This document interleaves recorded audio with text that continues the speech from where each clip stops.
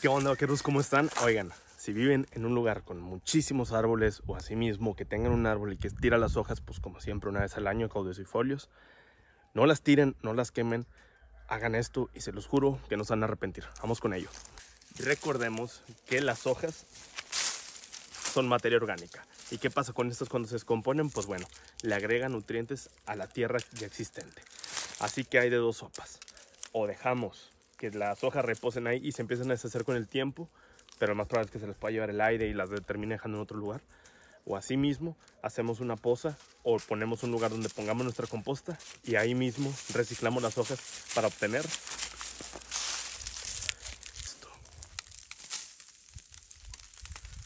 la tierra de mejor calidad que existe en el mundo. Y pues bueno, ¿con qué me refiero con esto? Bueno, aquí yo aviento todas las hojas que juntamos en el rancho y después de esto agregamos nuestros residuos orgánicos como hojas de lechuga, plantas, este, cosas que terminan las cáscaras de huevo, de café, etcétera. Todo lo que son desperdicios de la cocina. Los echamos aquí, lo compostamos y todos los nutrientes pues obviamente se van a quedar aquí. Todas las hojas al descomponerse transfieren su energía y se la dan a todo esto. Así que es una maravilla y se lo recomiendo.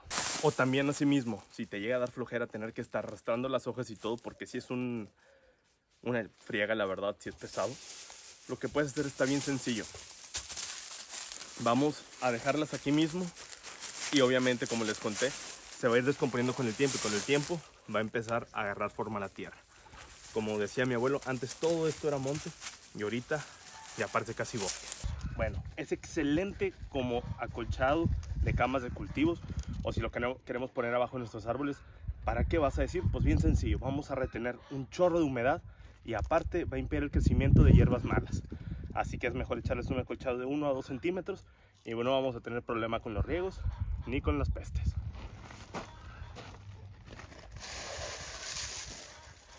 Vamos a tomar un bonche de hojas y lo que vamos a hacer, hay que triturarlo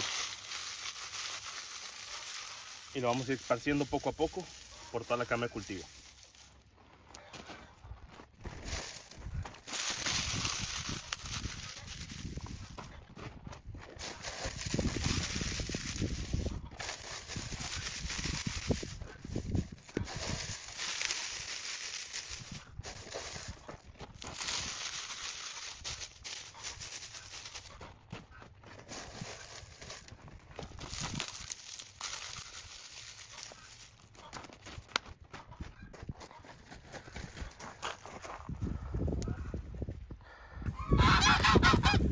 Y último, vaqueros. Es excelente para ponerlo en el corral de nuestras gallinas. ¿Y por qué? Pues bien sencillo. Las hojas no solo van a hacer un montón de cosas por nosotros. Lo que van a hacer también es entretener a las gallinas, van a hacer que ellas se entretengan y por lo tanto baje su nivel de estrés. Y con esto pues vamos a tener mejor producción de huevos. Y aparte de todo esto, las gallinas al estar rascando van a estar rompiendo las hojas. La van a estar descomponiendo más rápido de lo normal.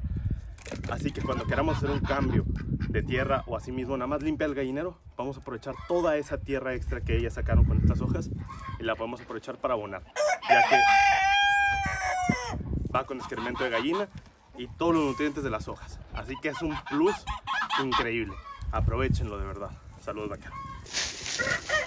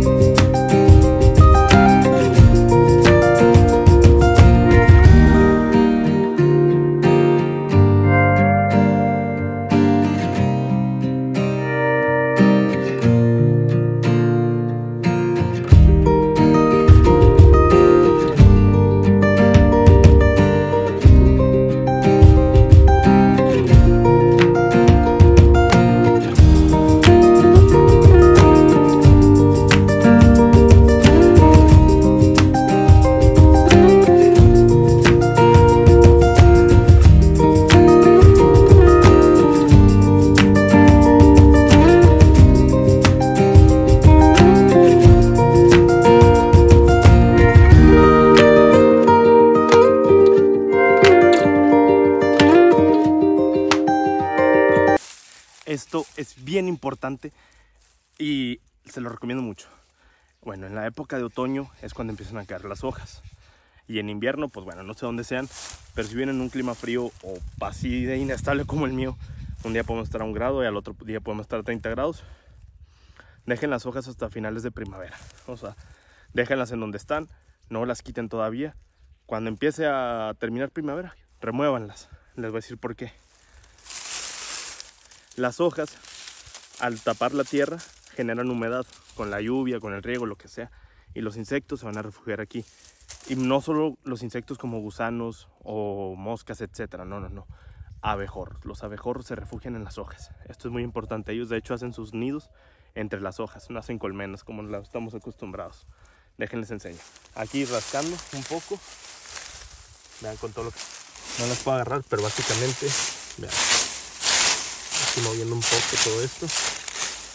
Vean todos los insectos que hay.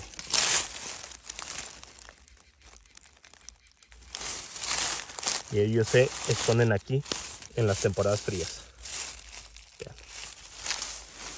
Así que si no sabías, ya sabes, vaquero. Espero que de verdad apliquen esto. Para mí me ha servido muchísimo con todo esto.